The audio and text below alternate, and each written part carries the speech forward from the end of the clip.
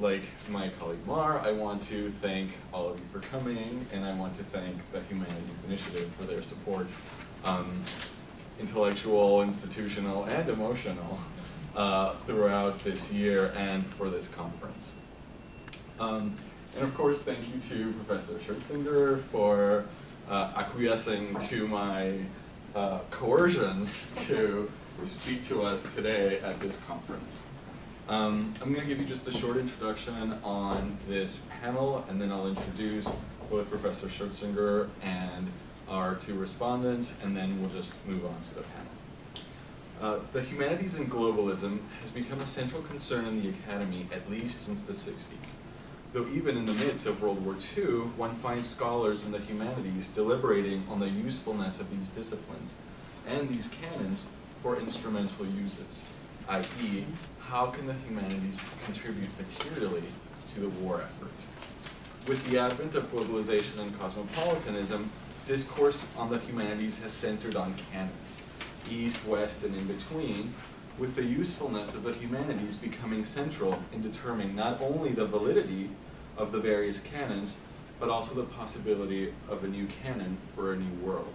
And this was the inception originally for this, for this panel, how the humanities as a set of disciplines and a set of canons uh, interact with what are in fact other, uh, other nations, other humanities, other disciplines, other canons.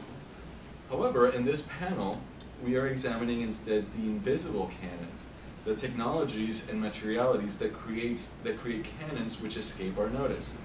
The piano and its translation to digital media here, MIDI MIDI, the only programming language available to translate music into digital uh, formats, is one such means to question the humanities in our globalized world.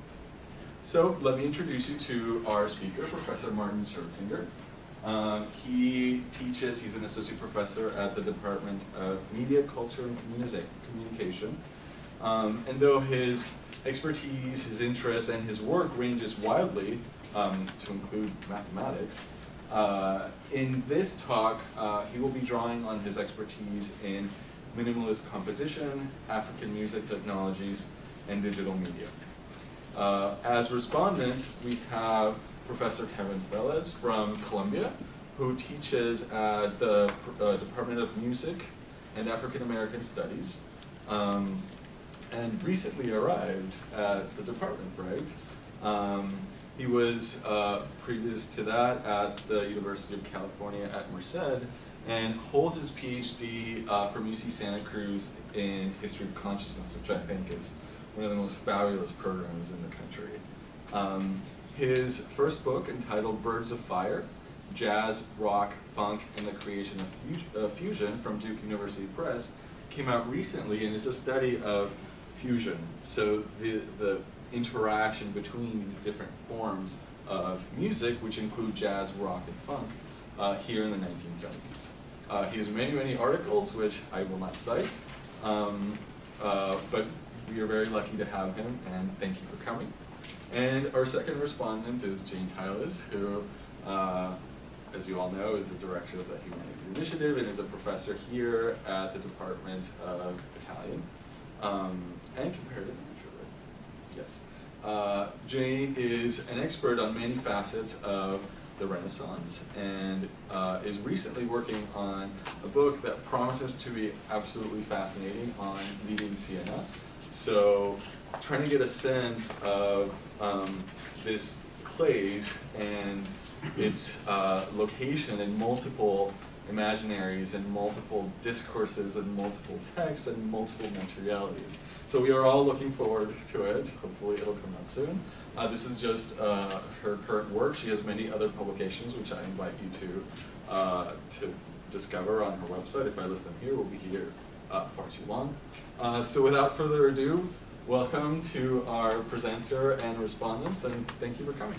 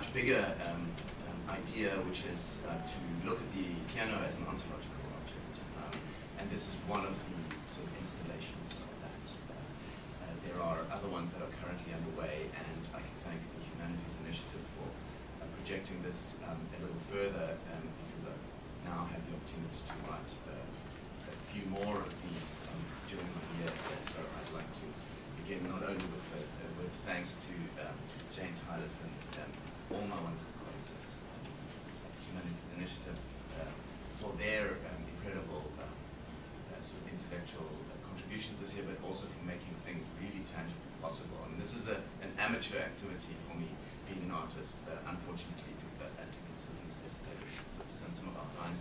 Um, and so it's a parallel line, and I'm glad to have been given some sort of support in doing that.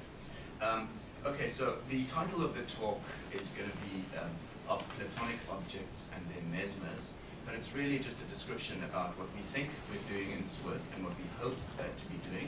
And I'm going to end the talk with a kind of a, a modulation into um, an area that I think will intersect uh, quite powerfully with what we heard in the previous um, talk, and I hope um, uh, ignites some discussion.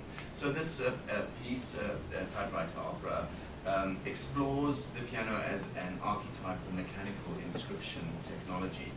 Um, most obviously, the piece is, uh, in some ways, a musical composition, uh, deploying what I might describe as an underharmonized verso da capo of a theme, a keyboard theme written in 1710 um, by, um, uh, by Handel, uh, the year after the piano was invented by uh, Cristofori, at least the standardized piano as we understand it. Here it's been reconceptualized uh, as a, a, piece for, uh, for four hands. Um, of course, at the other end, bookended, is the figure of Brahms, um, Johannes Brahms, uh, who perhaps brings the sort of um, classical era of the piano, and by classical I don't mean a music stylistic thing, but just when it had its heyday, when it was the central referent for Western music, um, uh, uh, probably brought that to a close. Um, after Brahms, people, uh, composers, or the Western sort of trajectory development um, evolution in its self-described way, in. Um, so it's bookended more or less stylistically by Handel on the one hand and Brahms on the other, the life of the piano.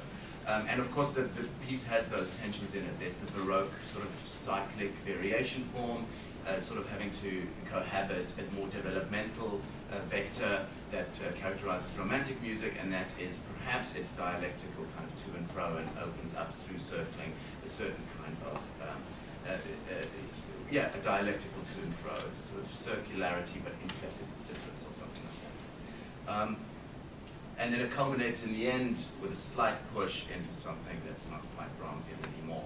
It also begins with something slightly under harmonized, not quite yet Handel, and then a little bit beyond Brahms, but like otherwise it's pretty handcuffed um, in that stylistic universe. Um, okay, so uh, at stake, however, is the, uh, is the uh, piano as an ontological object. So despite the many updates during the past 300 years, it is surprising to observe how similar Cristofori's 1709 invention is to the modern piano today. But more surprising is the capacious stability of its interface design in technologies that are no longer controlled to the task of integrating these equidistant mechanical components with the human sensory, cognitive, and motor uh, apparatus. Uh, so the tactility of the digiti extending from the human hand and so on. So it is no longer situated, if you like, at the crossroads of technics and flesh. The once productive melange of key, code, signal, hammer, hand, finger, and ear um, uh, musical time today is nonetheless still held in the arms of its code. Okay, so very quickly, the piano as a kind of template uh, has become the standard design for representing music in software today. So from the pitch lattices that ground current popular music to the sound design designs of commercial ambience, from the programs underwriting MIDI audio beeps, alarms, recorded voices, and ringtones, to software applications for iPhones and iPads that enable users to create compositions of their own, um, electro, and so on and so forth. Auditory experience today is increasingly marked by a subset of discrete tones that fit on a standard modular grid, standardized modular grid. So MIDI, for example, is um, integral, an integral component of most digital workstations today. The need for standardization if you want interoperability, I mean, that's in a, in a sort of summary version. So the piano, piano's coded data format, if you like, has become immortalized as a kind of archetypical digital representation scheme uh, for music in our times, and hence a platonic object. The piano, however, construes music on the model of a zoetrope, a cylindrical device invented by Ting Huan in China around 180 AD. The spinning zoetrope made an illusion of motion out of a quick succession of static pictures. It was once known as the Wheel of Life and then as the Wheel of the Devil. The device exploited the threshold where the eye could no longer distinguish increments of discrete quanta from a continuum. In the 19th century, the British mathematician William Horner invented the modern zoetrope, which he named Daedalus, after the mythological figure of Daedalus, a clever artisan whose designs were said to have been touched by divine.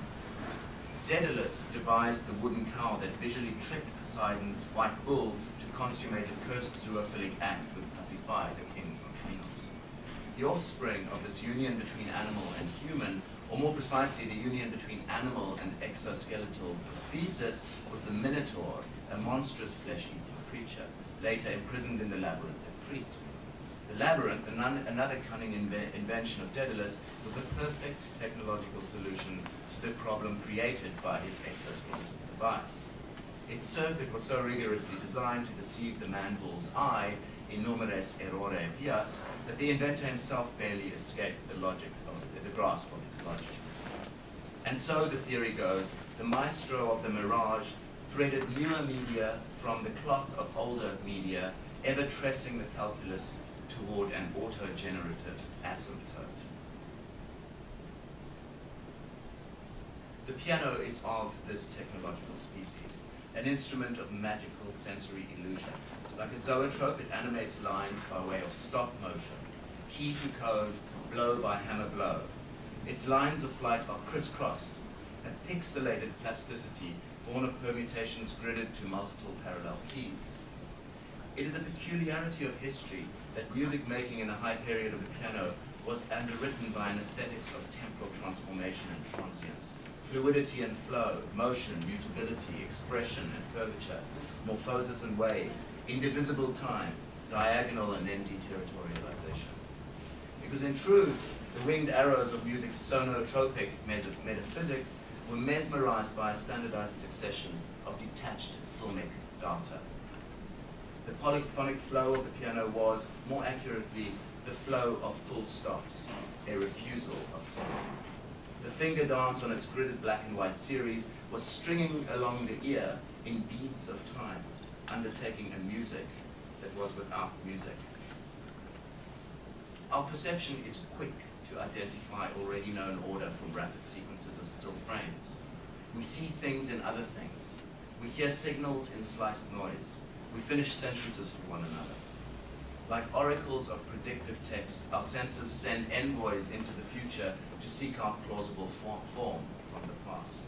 Our eyes and ears are good at bending the facts, finding the sweet space and spot that gives shape and face to fragments and dots, and that gives contour and continuity to pitch and functor. In pianism, the romantic virtuoso performs a stunt founded on me mechanical dexterity a stunt for the senses. Set to work on the chromatic interface, his finger dance synchronizes key to tone type in tessellations that conjure an anamorphic ear. The virtuoso, the virtuoso is the piano's charismatic mesmer. Like Daedalus, the 18th century celebrity physician Franz Mesmer used illusionism to assist young pianists, including Mozart, in the art of animal magnetism. The pianist, then, subtends time by way of finger pointing, hammering out the details that will trick the ear into hearing lines and operatic curves. So this work, the typewriter opera, is on the one hand utterly seduced by the charisma of its coded mesmers, but on the other hand, it recoils from the abstract phylum of ideas that lock into a subset of musical praxis today. The piece backwinds to the genealogical origins of the piano. It returns to the crossroads with body met machine to recover a site where it may not have happened, if only to ponder the road not taken. The qualitative difference between the five fingers, from the binary phalanges of the pollex or the thumb to the ternary ones of the digis, digitus minimus manus, fused with the quantitative equality of the keyboard's parallel components. A panoply of numerical systems interact within this nexus, the pentadactyl hand with its mathematically impractical but some say biomechanically preferable decimal schema touches down upon the composite dozenalism of the piano's chromatic aggregate. Music's rhythmic notation segments time with the radix of high as high as base 32, and standard pitch notation inflects a duodecimal system with a diatonic septal one. In other words, Western music generally separates a pentatonic complement, black hand of the piano, to single out seven notes for special tonal retention. It might be worth pointing out that the chromatic aggregate recapitulates the modulo 12 of daily clock time, while the pattern of whole and half tones of the diatonic subset recapitulates the pattern of the seven long and five short months governing annual time. In the pianistic interface, these modular and modulo wheels of time cycle like composite zoetropes within other wheels. A little bit about the actual way the movie unfolds. By bringing the piano performance under the one-eyed gaze of a barely blinking camera, two standard modes of perception are made to confront one another, the ear versus the eye. The camera isolates the keyboard portion of the two Steinways, drawing attention only to the pianistic interface and its types of data entry as such, thereby leaving in view only organs without body. The piece starts with a solo rendition of a simple theme set to a coherent image-sound relation. As the variations unfold, however, elements in inherent in the interface itself seem to change their relation to the ear and the eye. It is as if non-diegetic apparitions emerge from absolute diegesis. Slight shifts in the mechanism that link finger action and sounding form seem to turn up on the scene. In piano performance, the hand is not a complete inmate to its semiotic task. Free fingers float and dangle oddly amidst those conscripted to actually depressing keys at any given time.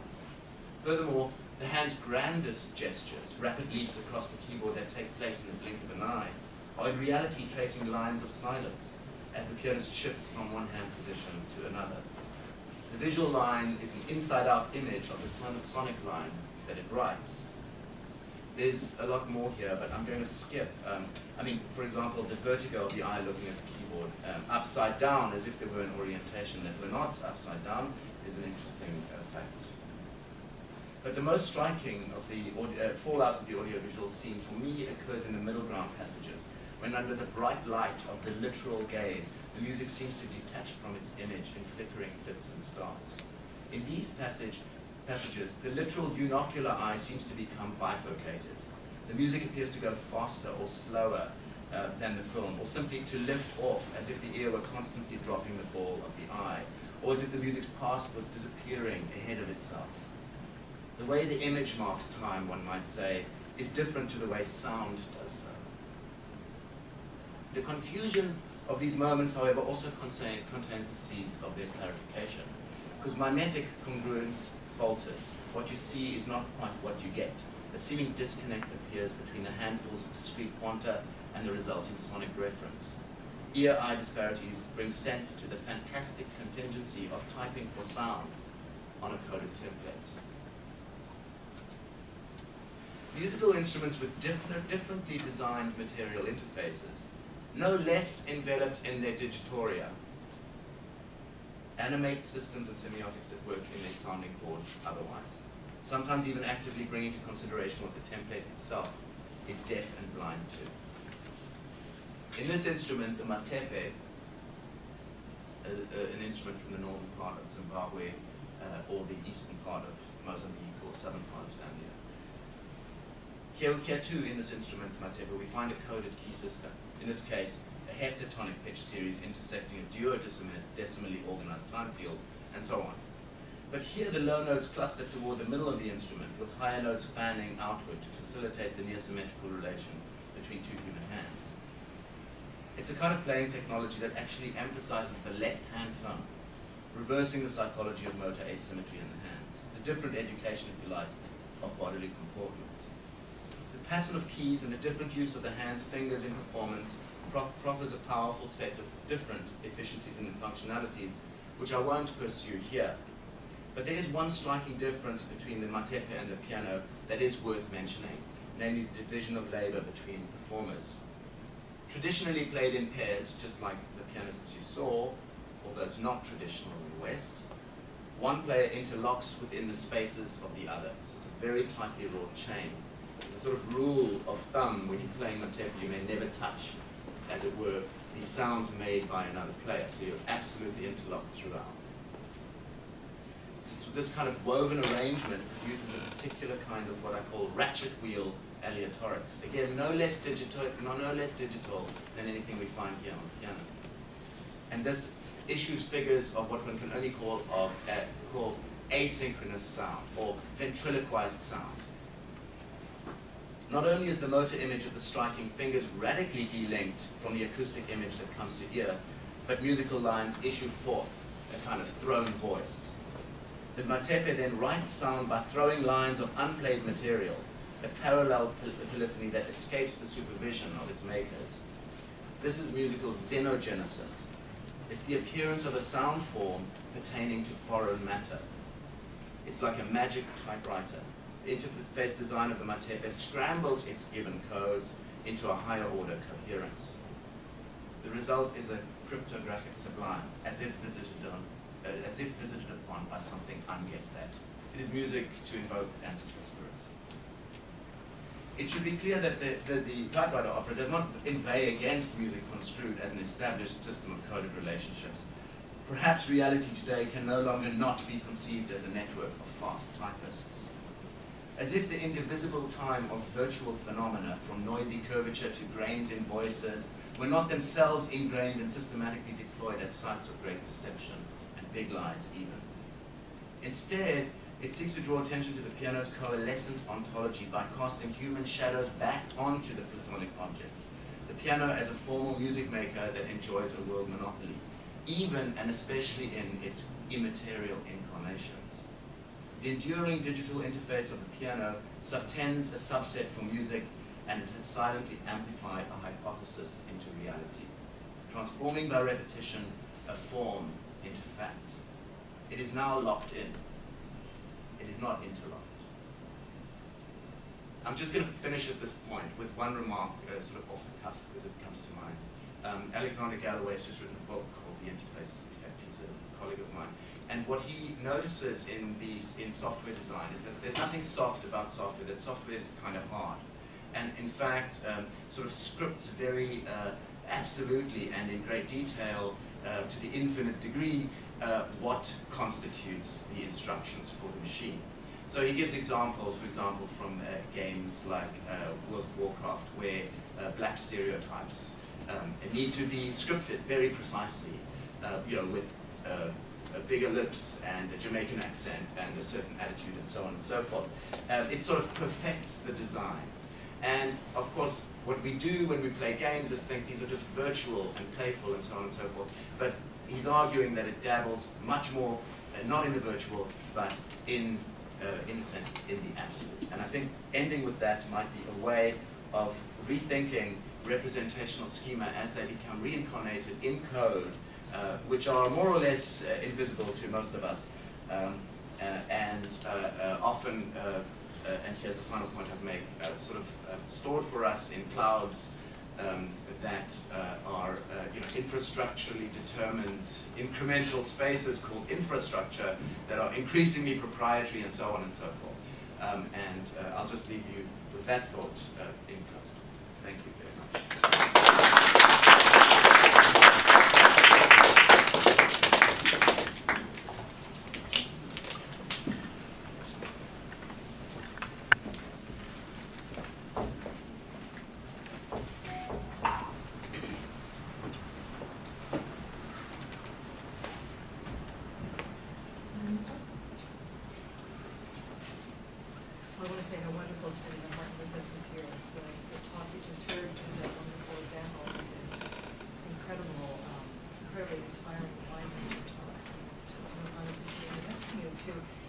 so much of a critique. Uh, should I use this? No? Yes. Uh, to give not so much a critique as maybe a riff um, on, what, on what we just heard. Um, something we've, we've heard which, which, which talks in, I think, really stimulating ways about, among other things, the relationship between the temporal and the spatial, the faltering rather than failing of mimetic congruence, uh, and the questioning of different material interfaces that allow us to see that the template itself is definitely wanted. Uh, I'm, I'm neither a music theorist nor a musicologist, um, let alone someone comfortable in new technologies of sound media production.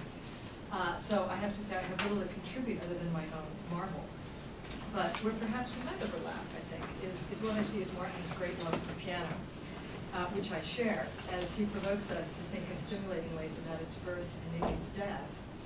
Uh, only someone who loves the piano as an instrument will note, as, as Martin does, quote, the grand gesture of the hand in its rapid leaps across the keyboard that take place in the blink of an eye. The gesture that is really tracing lines of silence as the pianist shifts from hand position to hand position away from the keys. In moments such as this, the exquisite connection of craft and theory, I think, is stunning, confirming what we see in the ten books of architecture by Vitruvius, who wrote in first century BCE Rome, uh, and said this, the arts are composed of two things, craftsmanship and theory. My own decision at age 17 not to pursue conservatory studies in piano was largely because of my inability, uh, my faltering, I guess you could say, to see in craft a process of thought. A faltering, in this case, of the imagination, in my inability to, to see how the hand could be connected to the mind.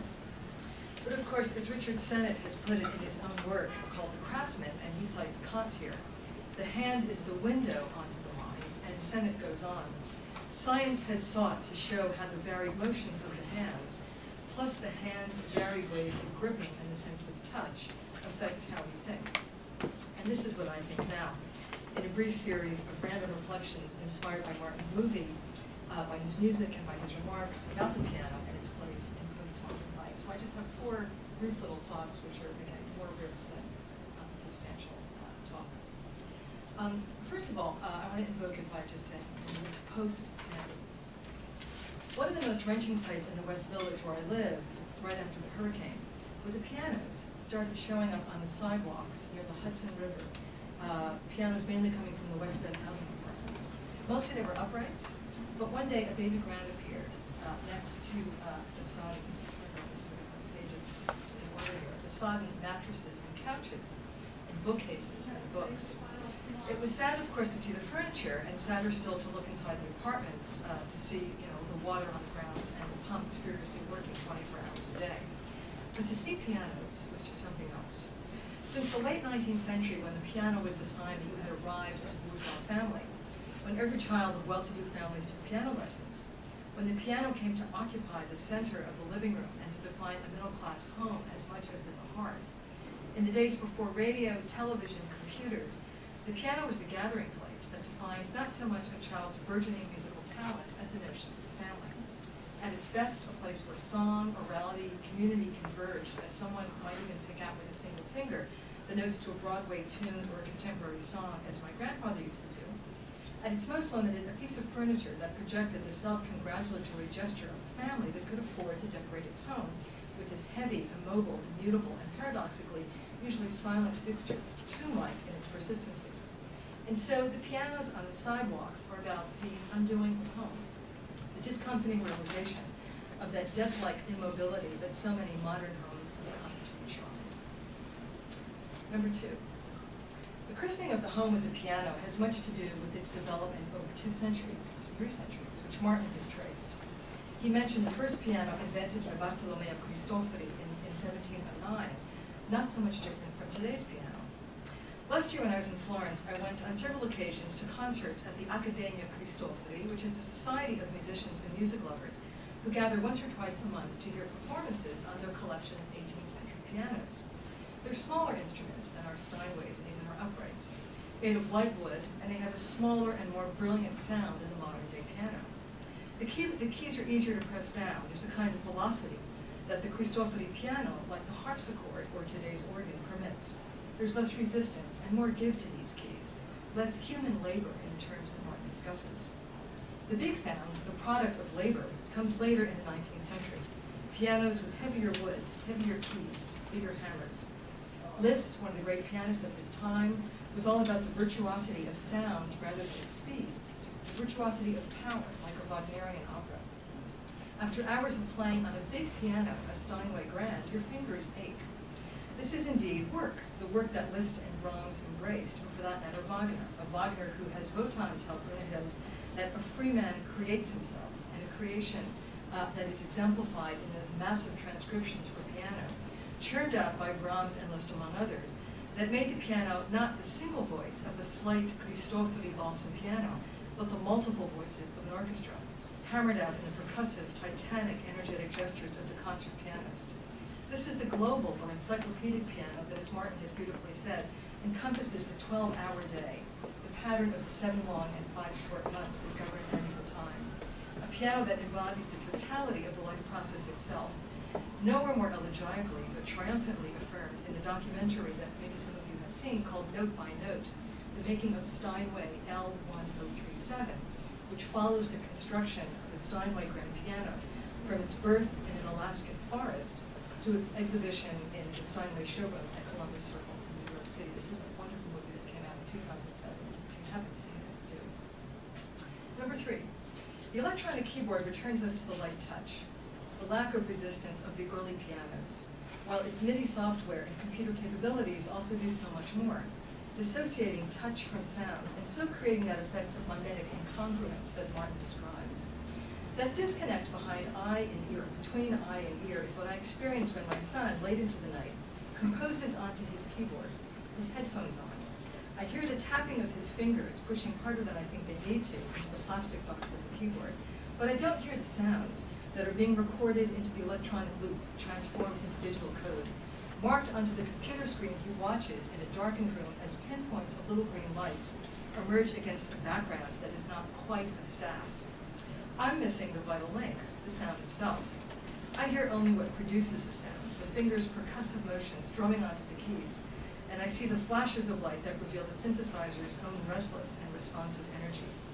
When my son invites me to wear the headphones to hear his composition, there's, there's no longer any clear sound of finger on key, but nor is there a noticeable A or A flat that you can isolate as a single tone. What the piano gives, distinctiveness and clarity of sound, is here disembodied, extracted from its origin, the labor of the hand on the key. In the supposed immediacy and instantaneity of a postmodern age, the process I have just witnessed betrays any such immediacy. It's all about mediation, recursive looping, and interventions, refracted and recycled sound. The hand on the key of a Steinway or a Cristofori piano was much more immediate in its effect, even though that immediacy is below the process. The key on the piano raises the ribbon, which forces up the jack against the hammer roller and lifts the lever carrying the hammer, which strikes the wire, to force its vibrations into the wooden box, from whence those vibrations will emerge like voices from a tune. This is a description I actually got from the great book called The Way Things Work by David Macaulay. And what's great about these two pages where he talks about how piano works is that on that same page, he has a little paragraph about how the manual typewriter, the Machina Descrivere, works as well. So it's a great footnote to the movie. Uh, like the dubbing of voices in foreign films, there is even here a disjuncture between the eye and the ear, however slight, as accentuated in Martin's film. and finally, number four, and this is where, if I could have the first um, photo, that would be, would be great. For the ninth installation of the performance exhibition series at MoMA in fall 2010, the artists Jennifer Allora and Guillermo Calzadilla presented a show called Stop, Repair, Prepare, Variations on Ode to Joy for a Prepared Piano. For this piece, the artists cut a hole in the center of a grand piano, through which a pianist played repeatedly, basically every half hour of the day in a gallery on the fifth floor of MoMA, the famous fourth movement of Beethoven's Ninth Symphony, the, you know, the Ode to Joy. The performer would lean over the keyboard and play upside down backwards, so not unlike what we just saw in the bottom half of Martin's film. Um, and this is a tech, you know, technically it was an incredible feat, and one which is which was enhanced by an equally incredible feat. While playing, the performer moved, used his body to move the piano slowly, cumbersomely, through the vast atrium, while the museum's visitors followed him around. This is where that second uh, picture uh, shows the visitors. I mean, this is where I went up to the above and looked down and said, this is kind of what you got. Um, the guy, you know, you can't really even see him, but you can see his hands, and this was the, the swarm of visitors that slowly, you know, in this kind of semicircle, kind of followed the piano. They were, to use a word from Martin's talk, mesmerized. How could this piano man, for such he had become, do so much to reshape and redefine the work of the piano? The listing from the exhibit in the little booklet that you saw the show focuses on what happens to the ode itself in this performance, as the artists claim. Quote, the result is a structurally incomplete version of Beethoven's ode. the hole in the piano renders two octaves inoperative. That underlines the contradictions and ambiguities of a song that has long been invoked as a symbol of humanist values and national pride. unquote. But as I stood in the Roma's gallery, I was watching more than listening, I have to confess. And if Martin talked earlier about the union between Pasiphae and the wooden cow that produced the Minotaur, I was reminded here of another similar monster, and we've been talking about monsters today, in this case the centaur, man and horse. Even as this slow amble of the piano across the room was exactly that of animal and prosthesis. In this case, it's half man, half piano, and the man is not free, hardly the Wagnerian free man who creates itself, but one entrapped within and by the piano's tune, even as he must disfigure it.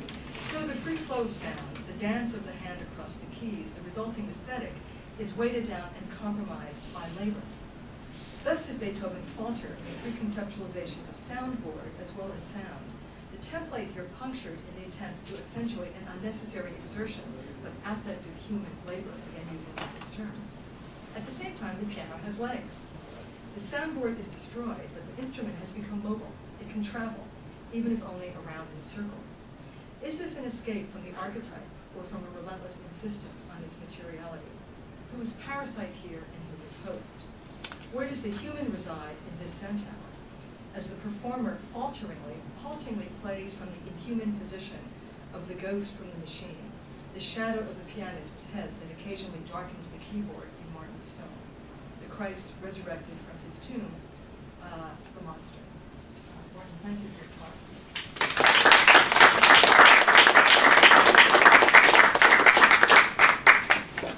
Um, I too would like to thank the organizers of the conference for inviting me to participate and uh, have an excuse to come down here and meet everyone. Um, So this is really nice. I'm also going to be somewhat like your uh, response, reinserting the human body a little bit into um, this, this, my response.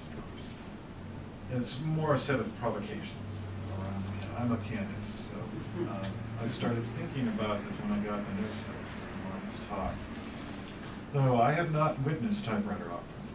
So at a distance and with that handicap, that faltering, to use the language of this conference, I only have Martin Scherzinger's account of an audiovisual object that under his careful analytics is nonetheless rendered in a linear flow of words, terms, and phrases. The textual depiction of an object I take to be a temporally displacing and digitally parasitic offering, tasked with, as he aptly describes, typewriter opera's concerns with the status of the piano as an ontological object. I want to pursue this pianoforte to give it its full naming, falteringly, hesitantly, this instrument of reified, rationalized soundingness. In its ordering and measuring of sound into its equal-tempered sound world, it disqualifies entire worlds of soundings. The equal-tempered displacing and relocating the microtonal to the now irrational soundings of the non-tempered, even the supratemporal, if one hears the Indonesian gamelan or the almost infinitely retunable Japanese koto as corollary of ancient and distant cousins to our Italian pianoforte. Indeed, in its full naming, the pianoforte grounds itself not simply in the equal-tempered scale, but in the dynamic range of its application. And if Tienuan's spinning zoetrope can be thought of as its ontological forebear, the typewriter opera can be said, as Professor Scherzinger so eloquently develops in his talk, to bear the marks of the pianoforte's hybrid origins as a newer media spun from the cloth of older ones. The frozen through time tell us of tonality. In writing my response prior to viewing typewriter opera, I wonder if the pianists are allowed to play inside the piano, or is all the action, unintended, taking place at the keyboard? Is the piano prepared a la Henry Cowell, who sought to emulate the larger pre-pianoforte sound world, or John Cage, Cowell's one-time student who looked to the Indonesian gamelan for inspiration in his, his exploration of the pianoforte's percussive nature? Would this alter the ontological substance of a pianoforte performance given to the one-eyed gaze of the barely blinking camera? Why is a piano prepared rather than repaired in order to fill in the gaps its equal temperament excludes? In the limitations of thinking of the pianoforte as fully captured by hands on its keyboard, to what has typewriter opera been blind, or perhaps more accurately, rendered deaf or mute? What do the experiments of Cowell and his student Cage, a name that suggests more than mere capture, speak back to typewriter opera? It suggests, it seems to me, that the analog digerati of the piece begs a number of avenues left unexplored. The image given to me beforehand of the forehand suggests a certain type of racialized, gendered, and classed pianist. What might typewriter opera tell us about a faltering humanities if there were gnarled, overworked hands at the keyboard? What about age? Would wrinkled, liver-spotted hands give us another way to see the music in typewriter opera? What might black or brown hands indicate about the ontological status of the pianoforte? While Scherzinger touches on the Africanization of the piano in typewriter opera, I want to think of its possible Asianization. I've already mentioned Cowell and Cage, two composers and pianists who thought of the pianoforte as a possible Asianizable object. Indeed, with the overwhelming presence of Asians in the classical music world, to what sorts of inquiries and statements might those yellow hands motivate? How does typewriter opera fit into such a rendering? Or can it? Is the piano universal enough to carry its ontological baggage into a sounding marked Asian that does not merely overlay a European sensibility onto Asian hands? In other words, does typewriter opera provide a way for the pianoforte to subvert the pianoforte's origins? Is the typewriter itself a non-translatable mirror object? Typists don't need their feet, for instance, to realize their instrument's potential. The focus on the digits of the hand, in other words, misses the fully embodied ontological thrust of the pianoforte, its spinning of the entire body of the instrumental as to the realization of its sounding out. By attending to the gaze, which is restricted to the hands and the keys, typewriter opera obscures the full embodiment of the performers who realize the pianoforte's effective agency. I'd like to continue pursuing the extension of digits, Scherzinger notes, by raising the specter of the pianist's feet. Where are the una corda, the sostenuto, and the damper pedals? A pianist's technique adjusts to the application of select pedals, or like a modern trap drummer, the hands like a reverse marionette are manipulated from below by the feet. Does typewriter opera, I wonder, face the feet? From Scherzinger's remarks, I take it that the feet disappear like the non-equal tempered soundings of another logic, another telos, another sound world. In thinking about the feet, I want to trace them back to the theme of this conference, the faltering humanities. And specifically today, the translation of those faltering humanities into, out of, and through other canons. So the feet. what of those lower digits? As Frederick Chopin theorized, there are a number of pedal positions available that affect the sustain and timbre of a piano. Some scholars put this as high as 35 gradations of the sustain pedal alone. Debussy and Ravel not only provide robust theories of pedaling, but are also among the few composers who score the use of the somewhat misnamed sostenuto, or middle pedal. In any case, these forgotten feet certainly play an important role in piano performance. How might typewriter opera evoke these feet? How would it alter typewriter opera in terms of its concerns with the piano as an ontological object? Do feet matter? Again, not having seen typewriter opera, and only having a single image of its performance, and Scherzinger's description on which to base my provocations, I wonder about the rest of the body of pianistic motion. Should we assume a tuxedo performer, or can we also think of performers such as Awadagin Pratt, an African-American pianist, conductor, and violinist whose appearances on concert stages across the globe are not only remarkable for his virtuosic technical dexterity, but also for his dreadlocks, his denim overalls, and his bare feet. Yes, those feet again. He forces concert audiences to note his feet by uncovering them, by unmasking them, by liberating them from the dark socks and shoes of his peers. What do we make of Alice Sara Ott's bare feet, peeking beneath the long formal dresses she prefers for her pianoforte concertizing? Perhaps this is mere gimmickry, but perhaps this is sly commentary as well, a faltering at the pedals of the pianoforte's ontological stability. And what of the exuberant bodies of performers such as Lang Lang or Keith Jarrett, what of the wildly rhetorical gestures of the romantic pianists such as Arthur Rubinstein or Vladimir Horowitz?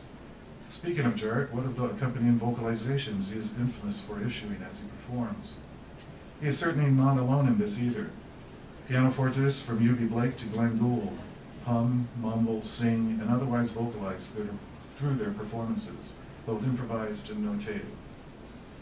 In bringing up the subject of improvisation, I want to conclude with the final set of provocations.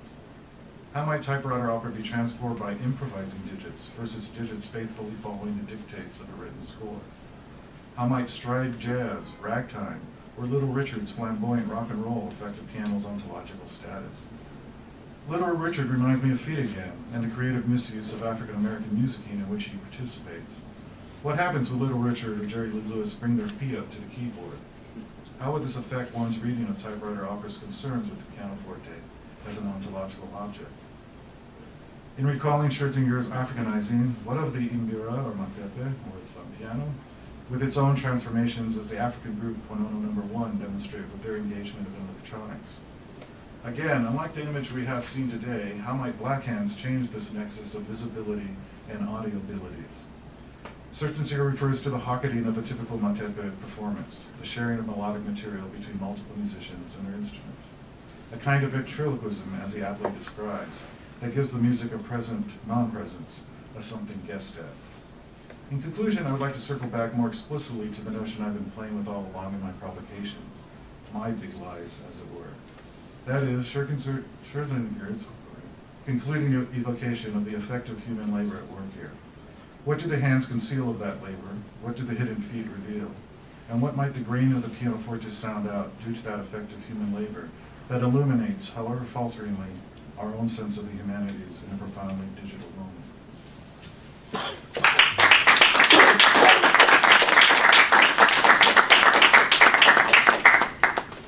Questions?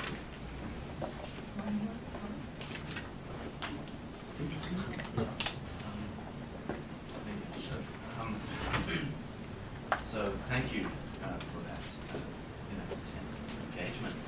Um, uh, I noticed that uh, both Jane and um, Kevin, uh, you know, spoke a lot about labor, and I somehow just sort of chopped it off, like the body itself, from my paper because I thought I was running out of time, but it, you know, I wasn't actually. But um, I should just uh, mention what I said about labor so that this contextualizes some of these remarks, and that is that uh, the way in which, uh, or that the the history of coded templates as they as they intersect with affective human labor is probably the question of our times.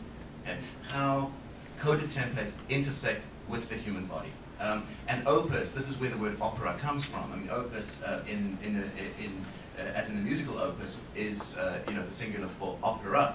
Um, and so that was very handy for me to use that word as a typewriter opera. It's both the human labor and the template. The typewriter was the template, uh, the labor is the hand, um, and uh, it's the same word for work. And of course, I read Italian autonomists all the time and was very happy that they too are called operaists, because is not the figure of the labor today, does it not coincide precisely with the maneuvers of the virtuosic performer? In other words, labor today is precisely sort of coincident with a certain kind of virtuosic performer that is uploaded onto a kind of interface, which has its specific design. So big, uh, big data infrastructures today that are layered in parallel with um, a social layer have enabled new modes of aggregation um, and parasitic capture. Right? So we can sort of turn the figure of the parasite around today. If traditionally the host was besieged by a multitude of microbes, Today we can speak of the multitude as curiously besieged by the host. Um, uh, in other words, incrementally ordered parallel spaces or parasites are threatening to transform by repetition into parasites. And I'm looking here, I'm thinking about big data um, infrastructure and the way in which uh, pianism is our mode of labor today. Now the question about um, uh, uh, because uh, I'm, I'm, just going to try and engage some of the critique because there's tons of it, and so I'll just engage a few of it, but maybe some of it sort of spills over into, into other aspects of it, um, about the sort of reification and the rationalization that is at work in the piano. This is quite uh, visibly what is at stake, and I say visibly because the visual work of the film does more to emphasize this than the sound, which is seduced by it. Uh, that uh, that reified character of the, uh, the, components that comprise this, this, digital interface are precisely what is at stake. Um, and its remarkable afterlife and sublimate, not even uh, sublimate, completely wrong, invisibilized afterlife. Right? And this is the way, the capacious quality of code that has now become a world monopoly in a way that is not as visible when you make vivid the interaction between the labor and the template and estrange it more or less by turning it, you know, in fact the, you know, the, the Met uh, production stop repair, prepare, uh, what would have fascinated me is the difficulty of playing something upside down, which coincidentally, like with African instruments, the upside down, right side up thing is much more, uh, much more interesting and differently construed. So the question of um, whether we, you know, Carl Cage and all of these people, this is the 20th century. I mean, I was dabbling in the high life of the piano. Um, high life is going to be another concept I wouldn't mind bringing back, because African high life has a lot to do with the way beat tracking works and software and so on. But um, playing inside the piano a la Cage, Cowell, and so on, um, altering it, faltering it, and this kind of thing. This is more or less what was at stake in the previous um, session, which is that uh, if we alter and cast out and falter and so on, maybe we illuminate something. I was trying not to do that. I was trying to let the piano be, in a sense, a sort of at its essential in, I was trying to locate it in its essential um, uh, kind of character. Um, the more, the better to illuminate some of its ontological presuppositions. Um, then, so, so that's uh, why I chose to work with that. And the 20th century has been undoing this for a long time. Well, did it work? We can't prepare MIDI right? We can't do, or most people cannot do that anymore. We don't have that kind of access. So it's, it's in some sense much more of a, a powerful ghost now that we must reckon with, right? And the, the politics of software, which is, which is what this bigger project is about, is, is, is more or less where this is leading. So it's a little bit of a, a small fragment of work. Uh, we, Colin and I have been working with hands and severed hands. So the disembodiment is in some sense a severing that in the context of Africa makes, um, uh, has, has, has, has you, you know, uh, uncanny and disturbing resonance. Um, and we're also following the way you know clapping patterns from the Congo and so on have uh, migrated across into um, uh, and from the Congo into you know uh, iconic Western pieces like clapping music, for example, and uh, the, the, the way in which that uh, is involved with uh, the politics of copyright or the poetics of copyright, which make put Africa always already into the public domain and so on and so forth, and thus free of the economies of exchange.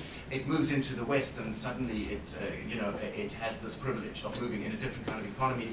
And we, you know, we, so we're looking at hands, severed hands in the context of slavery, same region, the Congo.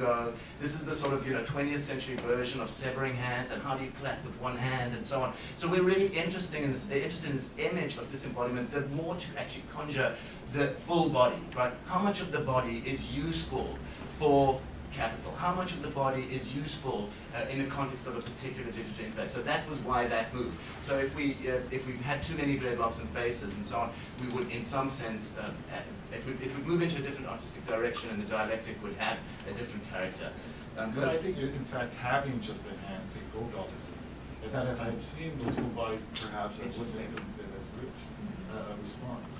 You saw the head every now and then. I mean, I'd like I'd love the play of shadows on Right, so that was the platonic object casting shadows back onto this platonic object, so that the human is in some sense reinserted, but as a severed human, but but in some ways, yeah, it, it does do it by negating it and cutting it, but really like it, slicing it. Really. Yeah, and in fact, as you're, you're talking now and speaking of uh, it as data and software and all of that, uh, it reminds me of Conlon Nancarrow's uh, uh, player piano pieces, right, where he effectively gets rid of the human, right, um, having piano rolls that are just no human play them, right, or perform them, and so it's effectively doing uh, a different sort of work that your typewriter refers to, right, but in a way that's engaging rather than just affirming to it.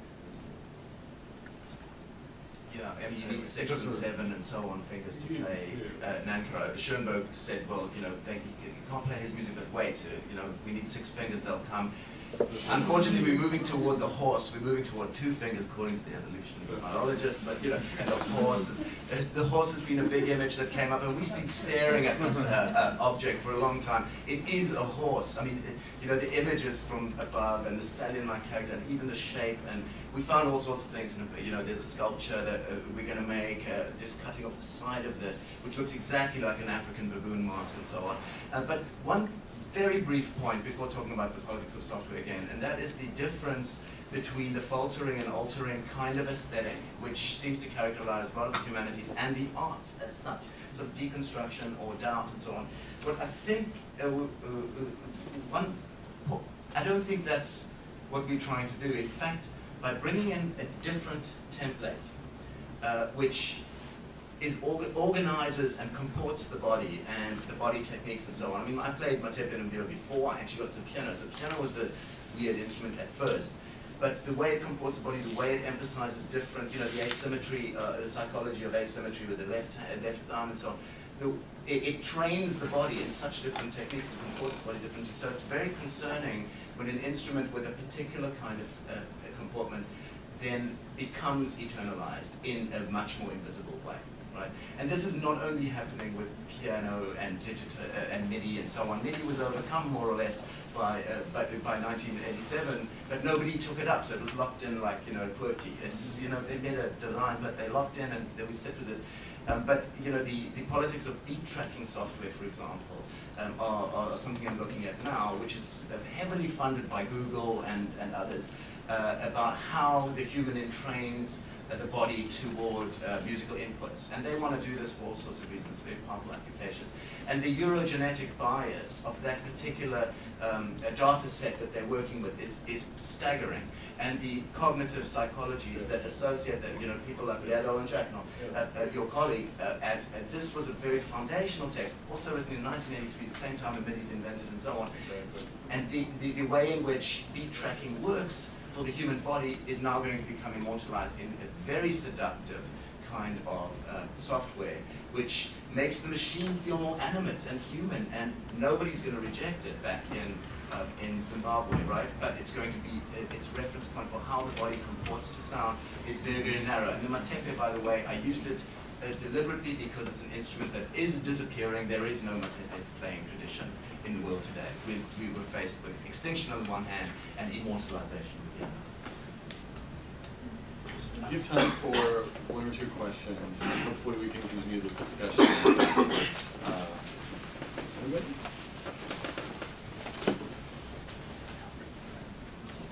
Oh, well, Kevin? If, okay. Well, I I was just wondering um, what might happen. Oh, Go ahead. I was just, I was gonna ask you about interaction, uh, because there was a moment, I was, Jane was asking, uh, you said something about the immediacy, you noted the immediacy of piano sound production compared to your son. Very, um, fun playing and stuff like that.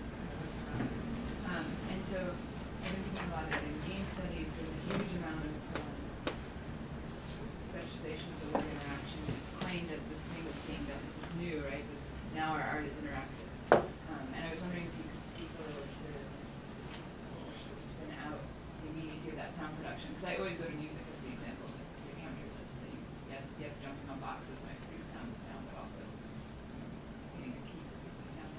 Immediate. Denying, right, well, denying the interaction of what was there before seems not quite right, so I've been trying to figure out what the difference might be. So I was just curious to hear more about those, the distinctions. Yeah, no, and again, I mean, this is really bringing myself in only as, as an observer to a process I myself have no knowledge of. Um, so as the observer, you know, watching someone, um, and it, it, it does seem to be like typing. And it's interesting to me too about, about some of the MIDI programs that it does lead up, right? I mean, there is no bodily engagement as a result the piano, it's just the hands. Hence the eye, because the eye is tracking the sights on the screen as the sound is going into the keyboard. I mean, what then happens in terms of the electronic programs my son uses, because he's into, among other things, EDM, electronic dance music, is that the sound then becomes distorted, so that the final product of what he's doing